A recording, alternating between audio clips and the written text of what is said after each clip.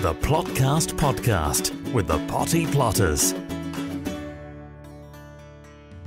getting your plants and nurturing them and, and feeding them and making sure they're growing, the last thing you want is a is a little pest called a slug to come along and demolish your plants. And so what we try to explain to to gardeners is actually your little things that you sprinkle on the top of the soil is going to have a very minimal effect because 90 to 95% of all your slugs live under the soil. Subscribe to the Plotcast now. Search Potty Plotters Plotcast on Spotify or Apple Podcasts and click follow to never miss an episode.